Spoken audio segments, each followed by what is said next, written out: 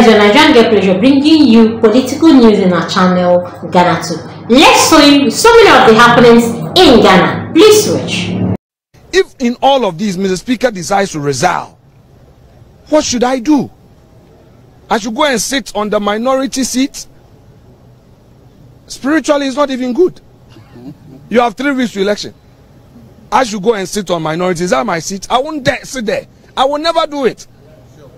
I will never do it. That's not my rightful place. I should go to minority. Spiritually, make myself a minority person. No. And bind my colleagues. We won't do that. No NPP person will do that. In any event, we were privy to certain things that we cannot make public. That if our colleagues had entered the chamber to attempt to enforce their rights, perhaps we wouldn't be here. So, in fact, we are decent minded people. Yes. We respect the courts, we respect the law. Our doors are open to Mr. Speaker's call. I repeat, our doors are open to Mr. Speaker's call. Political decisions are for common sense approach. We believe in a common sense approach in solving this. And the common sense approach is for Mr. Speaker to direct the NDC side to go back to their seats. I don't want to follow procedure and law. Mr. Speaker, don't be tempted, Mr. Speaker. Don't be tempted. The law he relies on sits on stilts. I repeat, there's a proper petition. Let's wait for its admissibility. Because that has been done by a lawyer who knows the rules. Harun Iddrisu is a respected lawyer. And we know that. Yes. This is a lawyer's rule. You know that. This is done by a lawyer. If it's issues about tax and economics, I will yield to Ato Forson. On this occasion, it's law. It's law. So let's go by the Harun Iddrisu petition. That is the right procedure. But even so, that, that petition will be caught by the court process. You cannot proceed. You should know this. And you want to mislead Mr. Speaker. My duty as a leader of government business, my duty as a majority leader, my duty as a majority leader is to guide Mr. Speaker. I remain so. It will not change today. It will not change tomorrow. Mr. Speaker,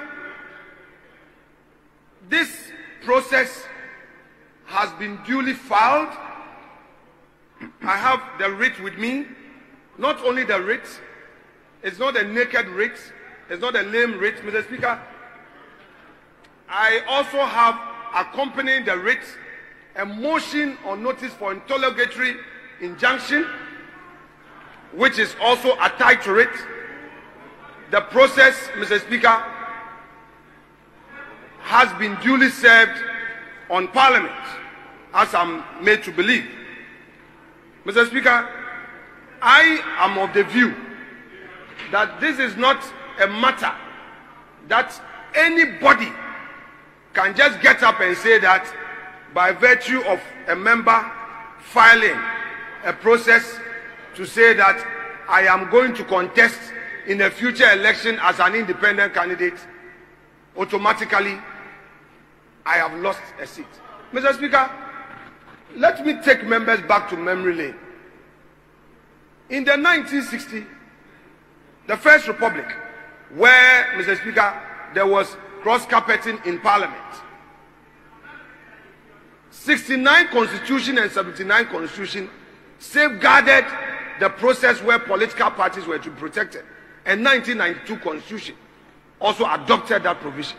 Mr. Speaker, it is therefore important for members to understand that practically you cannot say that once a member is on belongs to a caucus and has not resigned his membership of the caucus, the mere fact that he has filed to participate in future elections and a different ticket is caught by a certain provision of the constitution. Mr. Speaker, I hold my view. I've heard other views contrary to this. That is the more reason why we require patience for this matter to be properly determined by the courts. We require patience for this matter to be properly determined. Somebody cannot, somebody cannot say that, oh, there is a certain precedence. So, relying on that precedence, under Order 93, Mr. Speaker should just make a declaration. Mr. Speaker, Mr. Speaker, this application, so called, is leading you into a certain valley of, of confusion. It's a trap being set for Mr. Speaker for his long years in legal practice. Yes, because you simply want Mr. Speaker to make a declaration, a declaration which will have far reaching consequences. In any event, a man must be heard. The rule, all the alteram partem rule, the rule is clear. A man cannot be brought to judgment unless he's been heard. If you claim, then it was bad law. If I will continue to correct you stop misreporting. I am the majority leader. Don't say, no, no, say. You've been saying it consistently, and I've been correcting you. The court has pronounced from describing me as leader of MPC. Come back, come back. Say the right thing. Nana, there you have it. Alexander Penyomaki. I'm clearly not happy with the description that you have with the description that's been widely reported in the media as leader of the NPP caucus. According to me, still remains the majority leader. Yes. And there's been no set. There's no set.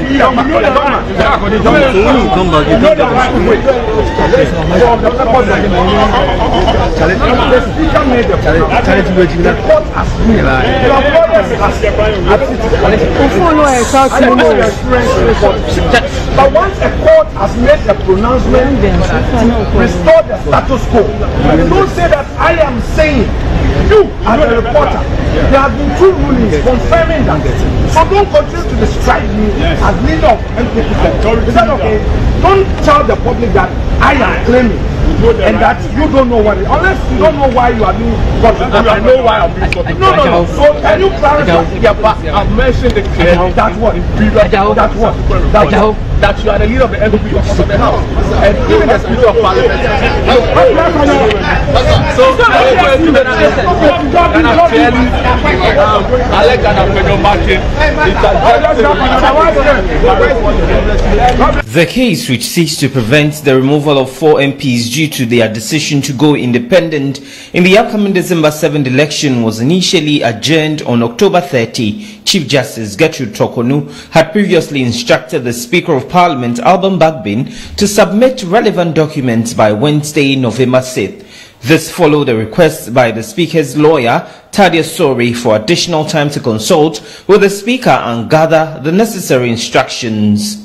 However, during the hearing on Monday, November 11, Speaker Bagbin's lawyers did not file any legal documents and there was no legal representation present, prompting a strong disapproval from the Attorney General. Here is Joe Gatti speaking to the media after proceedings. To the business of, uh, I'm not a seer. Let you come back. We are still majority. All of us will be alive tomorrow to listen to what the court will say. That's it.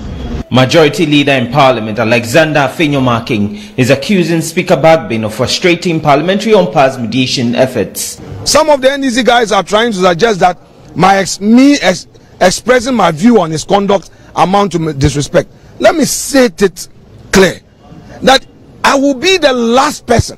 I repeat, I Kwamena Afenyo Markin will be the last person to disrespect Mr. Speaker. But Mr. Speaker should not think that he's a king. He's an emperor. He's not an emperor. He's a democrat. Therefore, he shouldn't be too sensitive to divergent views and opposing views. What he's doing, in all humility, is wrong.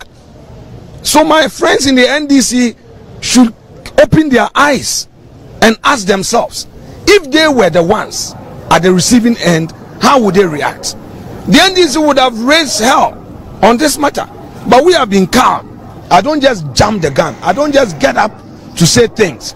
NPP in parliament is bleeding. We have gone through too much hell in the hands of Mr. Speaker. We just don't talk about it. We've managed the situation for far too long. And at this point, we would call on him, Mr. Speaker, that let us end the eighth parliament on a very happy and a very good note. Let's work together. So the Supreme Court has deferred its ruling um, Please do well to like, comment, follow, put on notification bell so you get all our news.